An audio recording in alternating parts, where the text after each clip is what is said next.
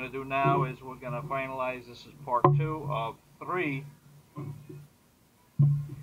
for the uh, 18 inch foot and a half, full foot and a half monkey, crazy monkey wrench. Okay, so we're going to go uh, post this up on YouTube. And uh, even though we only have one subscriber, hopefully we'll get some views on it and uh, we'll get some input uh, what people think we should do as far as uh, you know the, the, the, the, you know restoration as far as you know uh, should we blue it? Should we uh, clean it all up really well and, and uh, leave it mostly original? Or should we you know grind everything nice and flat flush and true and then polish it out? You know what should we do? So uh, hopefully we'll get some some feedback.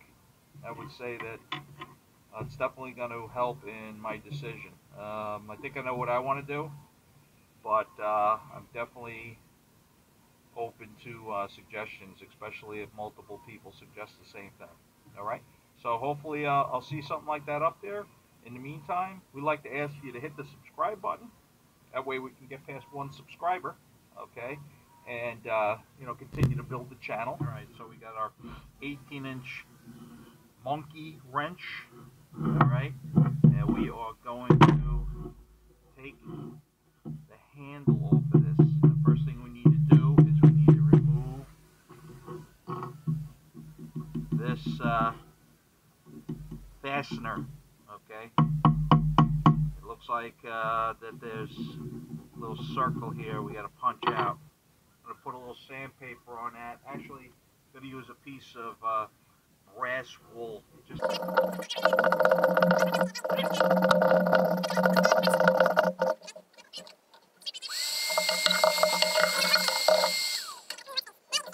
really that there is a pin there. You can see the outline of it.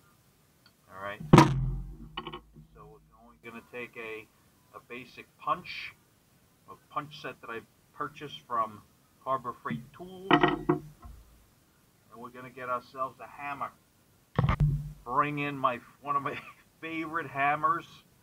Okay, and uh, it's got like a 13 ounce head on it. Know, I just love it. This was a regular claw hammer, but one of the claws had broken off, so I turned it into a uh, little custom job, if you will. All right, and uh, it's a fiberglass handle, but I wrapped it in leather make it a little bit more comfortable and get a nice grip on it. Alright, so we'll go ahead and apply some downward force to this pin here. See what happens. Nothing. No movement. I'm thinking what they must have done was put a bolt in there with a screw and then they and then they shaped this afterwards and ground it off. Because let me tell you something, I put a lot of downward pressure with a hammer and a punch on that, and that will not come out. Alright, as you can see, I just tried to drive that pin out, but it will not come out, so I guess it's screwed on. I thought it was I thought it was in there, but you know what? The handles are cracked anyway. You can see here it's cracked, it's cracked over here.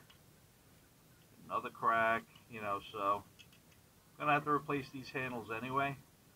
So what we'll do is we'll just break the handles off. Alright, for this operation we're going to get some hand protection. Make sure we don't get any nasty splinters. So I got my uh, nice Hardy brand new set of Hardy Professional Series. Realtree, looks like, or camo. Tell you what, if I was doing some MMA, we'd be good with these too. Oh,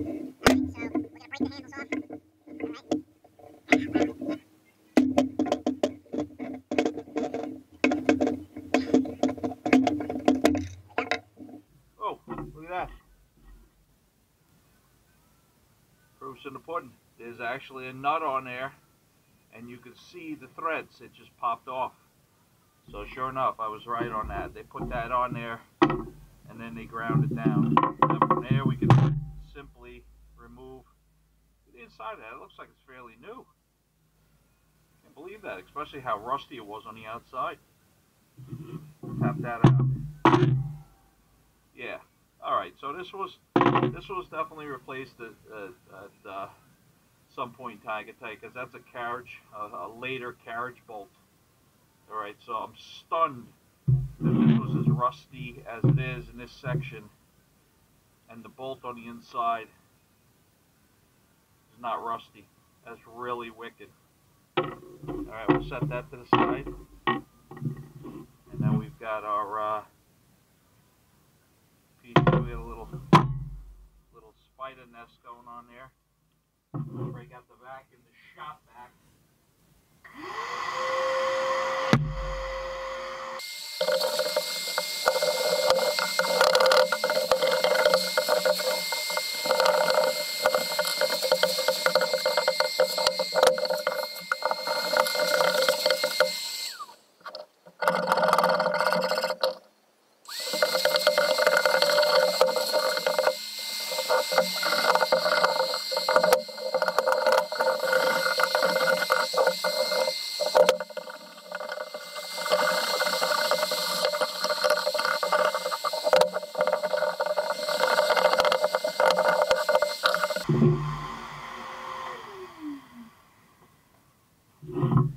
Uh, we got a lot of little critters out of that, and also a lot of the, uh, you know, the large bulk, a large amount of rust and, and whatnot off of that tool.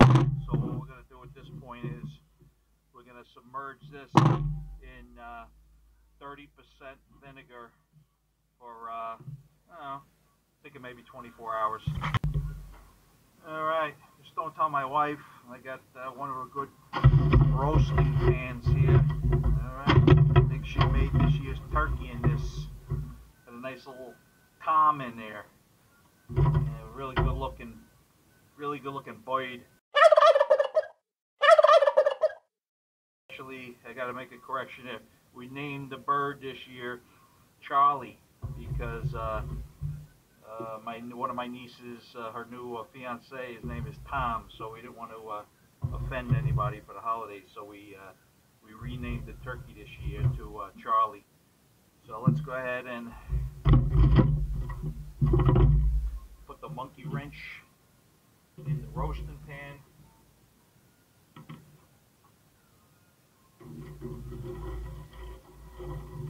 And submerge that nicely in uh, 30% vinegar. Probably, uh, probably the best solution, I think, to use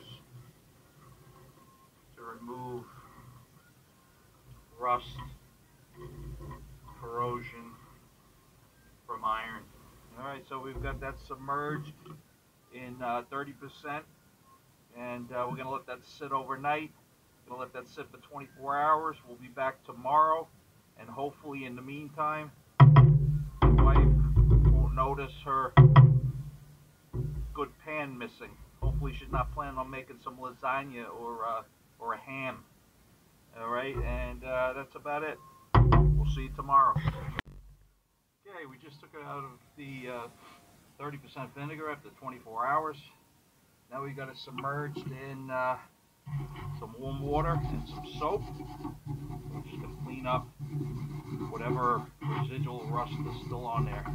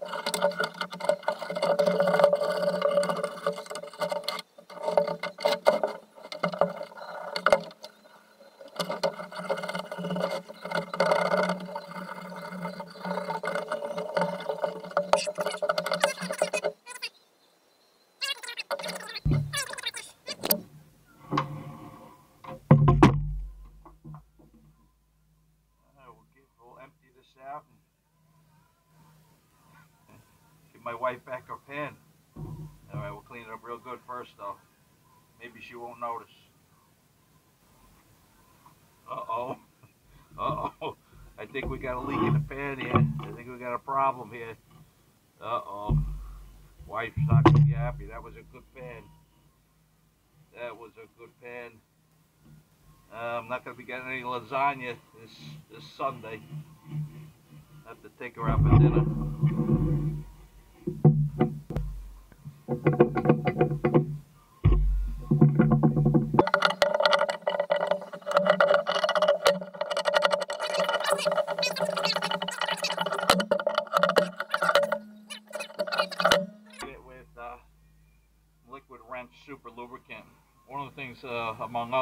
This does is it inhibits corrosion. Okay, so it displaces moisture.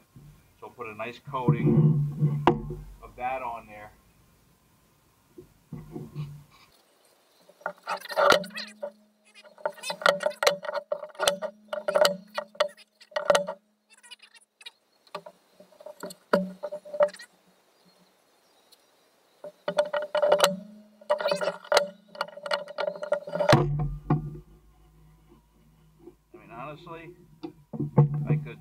The handles back on this, the way it's functioning now, and uh, just, you know, send it back to work.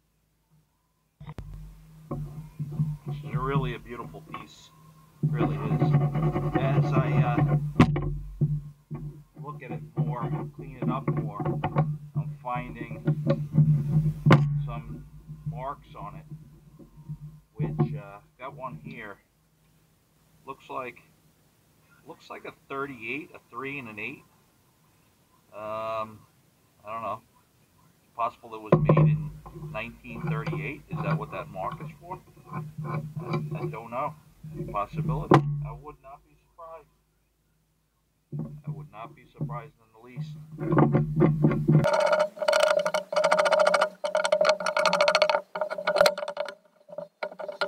beat up pretty good. You could see that that took a lot of a lot of hits. Somebody using that like as a hammer, kind of mashed down. So we're gonna really clean that up. I mean, almost tempted to be honest with you to leave this as is because it's got all of this patina, if you will, on it. Oh. It's a tough decision, to be honest with you. Oh.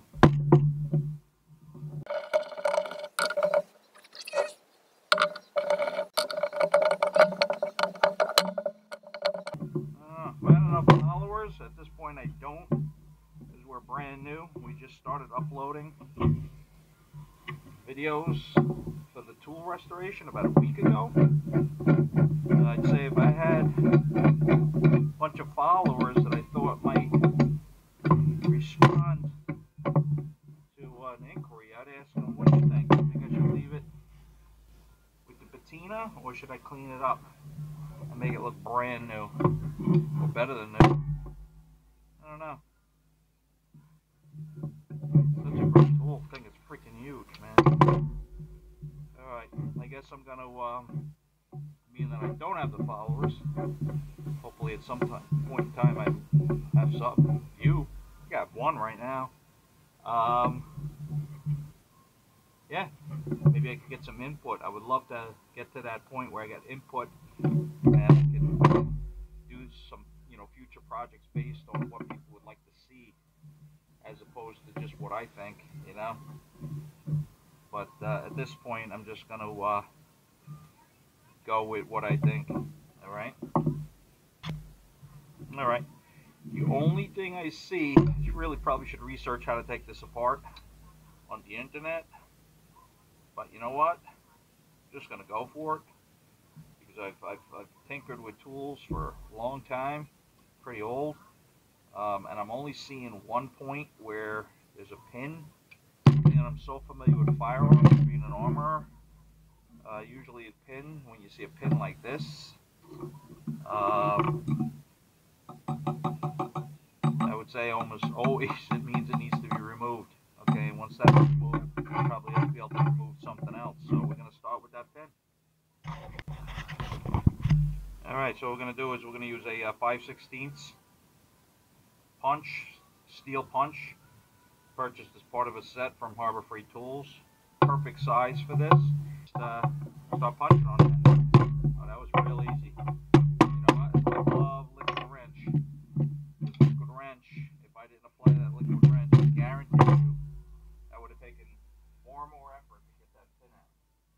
Let's get a, uh, a wood block. We can set that on and drive that the rest of the way out.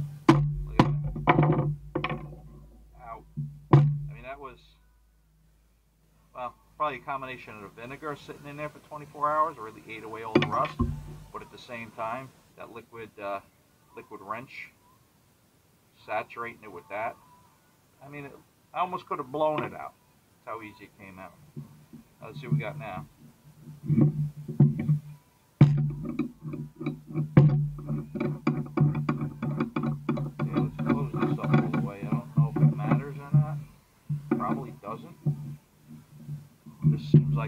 Pommel on here. I mean, the pommel end doesn't have anything holding it. I'm thinking it's just bang, you know, it's probably just hammered on with some pressure. So we're just gonna try hammering it off. We'll use uh, the punch.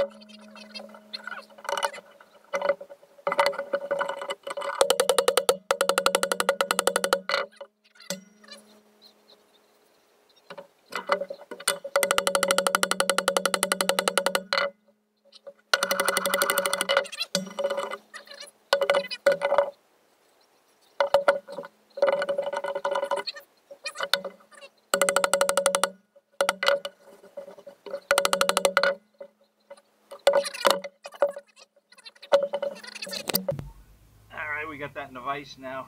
So, uh,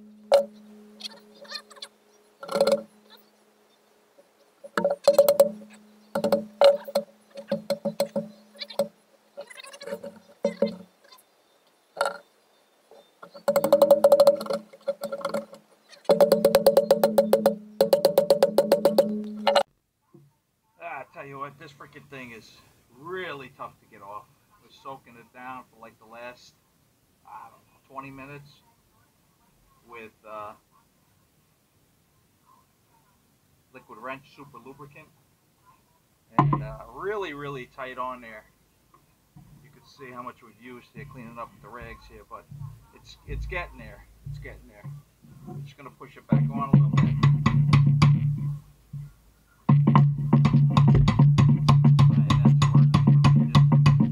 Ease it back a little bit. So we got it device using a uh, like a three pound head. I was just thinking people shot with it there it goes. Beautiful.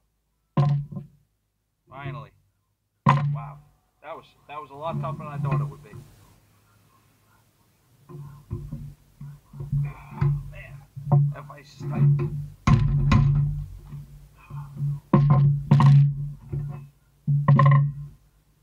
Alright, the camera up for the other angle. We finally get the uh, monkey wrench apart. It was, uh, yeah, really tough. Uh, it was kind of, I guess, I guess they call it rusted slash bound to uh, to the uh, shaft, to the shank, or the uh, yeah, the shank. I don't know. Got beat up a little bit, taking it off. Not a big deal. We'll be able to clean that up nicely. All right. For now, we're gonna just put the uh, the main part. I'll call it part number one aside. We'll also put part number two aside for now. And we'll call it part number three, the adjustment. Lower jaw. We want to get the adjustment screw out. Messy stuff, huh? Alright.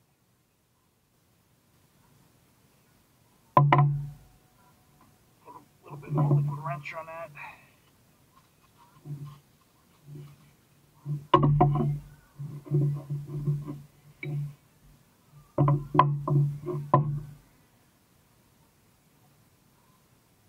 Alright. Pretty good shape.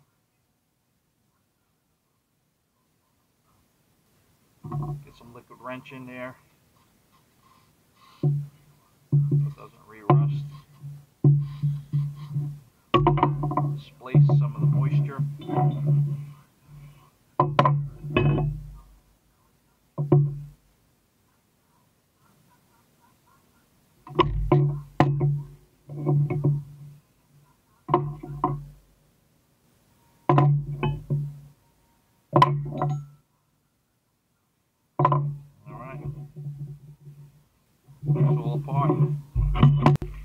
Going to go over to wire wheel and clean up uh, part number one, the shaft here. Uh, I want to see if after I clean it up, I can slide it on easily, on and off the handle, which was very difficult to uh, remove.